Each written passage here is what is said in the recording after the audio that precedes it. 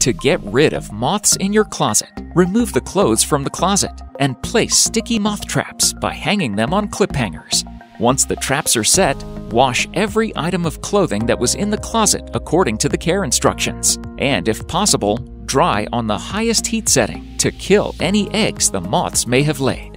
While your clothes are being cleaned, use soapy water to clean the floors, walls, shelves, and any other surfaces in the closet.